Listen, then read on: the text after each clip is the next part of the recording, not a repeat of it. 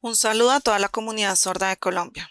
FENASCOL desea ampliar la información respecto al webinar de mañana viernes 31 de mayo a las 7 pm, en donde hemos invitado al representante de la Cámara Álvaro Rueda para que dialogue con la comunidad sorda y le puedan hacer las preguntas que tengan. Hay que aclarar que anteriormente FENASCOL ya publicó un video en donde les informamos que FENASCOL ya tuvo un diálogo con el representante y se presentaron las propuestas e ideas respecto al proyecto, las que queremos compartir con ustedes, para que las tengan en cuenta y no vayan a ser reiterativos con algo de lo que ya se ha hablado, sino que más bien puedan abordar otros puntos adicionales. Por esto FENASCOL quiere hacer claridad al respecto. Estas propuestas expuestas al representante son la recopilación de las propuestas que nos han dejado en redes sociales.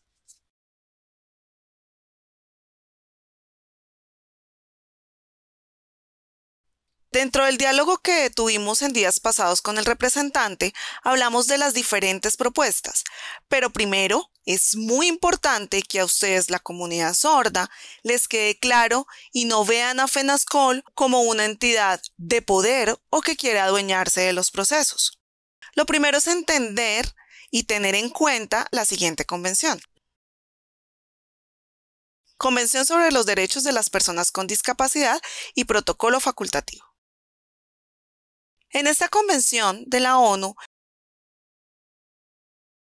en su artículo 4,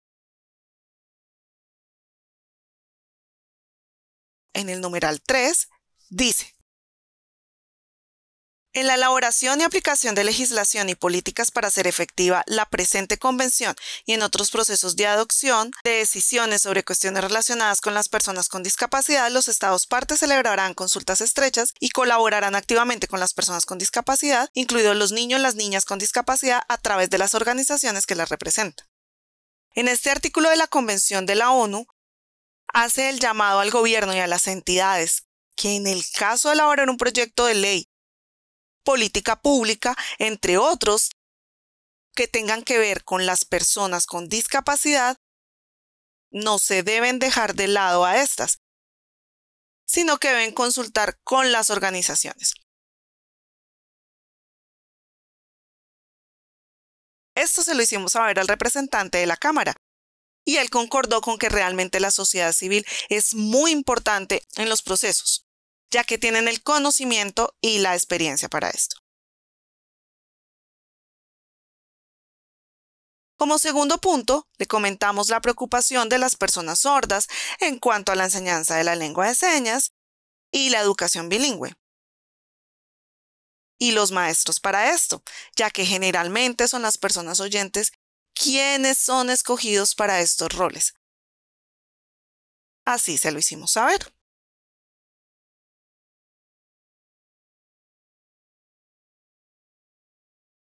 Es muy importante que ustedes tengan en cuenta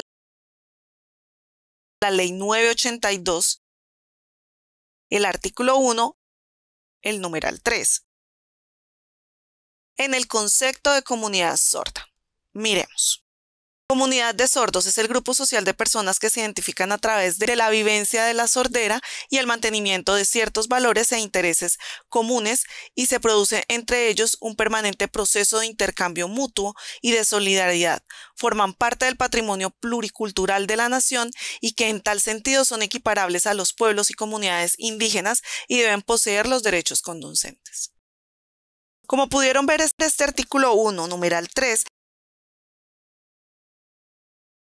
es importantísimo ya que define la comunidad sorda y debemos tenerlo en cuenta porque está en la ley 982.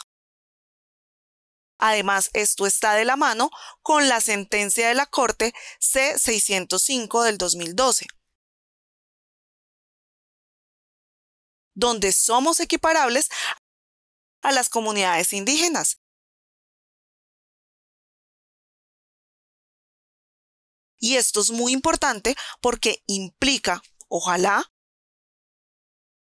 que sea que los docentes sordos quienes se ocupen de la enseñanza de la lengua. Porque estando en el mismo nivel de la comunidad indígena, la lengua sería propia de la comunidad y ellos tienen sus propios estatutos en cuanto al uso de ella. Podríamos llegar a imitar ese modelo.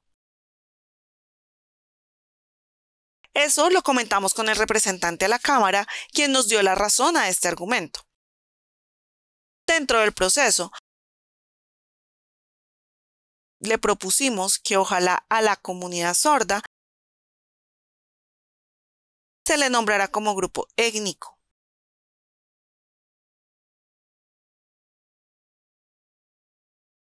Algunos pensarán, pero eso no puede ser así es parte de la discapacidad. FENASCOL tiene como argumento dos documentos. Miremos.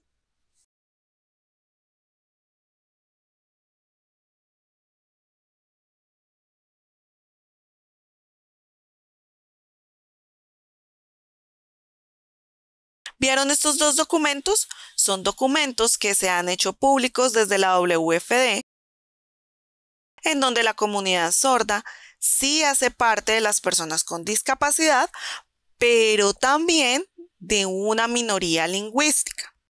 Eso al igual que los grupos indígenas. Es decir, una condición dual, como grupo étnico. Esto a futuro beneficia a la comunidad, ya que, por ejemplo, para concursos solamente sería entre su comunidad el proceso. Fueron cosas que hablamos con el representante y él fue muy receptivo aceptando lo que se les pone. Así es que se tocó el punto 4. Al que no sé si ustedes tienen un poco de conocimiento al respecto. El proyecto, al inicio, tenía como tema la enseñanza de la lengua de señas, pero gracias a una importante propuesta del INSOR, la cual aplaudimos ahora, es la enseñanza de la lengua de señas y la educación bilingüe bicultural. Esto es muy importante y se está escogiendo y seleccionando algunos puntos en los que FENASCOL ha realizado una propuesta. Como saben, desde hace mucho tiempo, FENASCOL ha venido insistiendo al Ministerio de Educación y al INSOR sobre la construcción de la política pública sobre educación bilingüe, bicultural, porque en Colombia para este momento no hay ninguna política a este respecto. Con una ley aprobada que reglamenta la educación bilingüe no es suficiente, ya que hay que pensar en su aplicabilidad y los recursos para hacerla realidad. Es por eso que toca pensar en una política pública. Por eso, ojalá dentro del proyecto que es estipulado que hay que construir una política pública. Por ejemplo, ahora la educación bilingüe apunta a la educación primaria, pero los niños que se encuentran en la primera infancia de 0 a 5, en los jardines del ICBF o de las secretarias de integración social a nivel nacional, ¿quién se encarga de la educación de estos niños?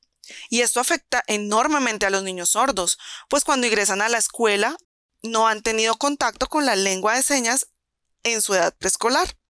La educación bilingüe es importante, pensarla desde la primera infancia, de 0 a 5 años. También FENASCOL hizo llegar el documento de la WFD de la Declaración de los Derechos de los Niños. Miremos.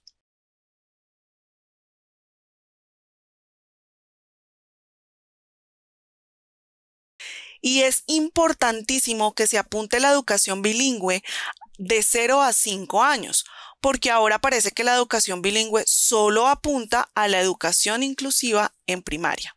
Pero ¿quién hace este seguimiento en los jardines del ICBF, por ejemplo? Es por esto que se debe hacer una política pública para tener una ruta clara y asertiva. Estuvimos con el representante conversando algo más de una hora y media, casi dos horas, y allí a lo último surge la propuesta de un webinar, mañana a las 7 de la noche. Están todos invitados. También estará invitado el INSOR para que nos informe sobre el tema. Ojalá mañana todos estén muy pendientes y asistan. pero reiteramos no repetir los temas que ya se hablaron. Ojalá pueda llegar a la mesa otras ideas y propuestas diferentes para que este proyecto mejore y sea muy bueno. Los esperamos mañana a las 7 pm. Hasta pronto.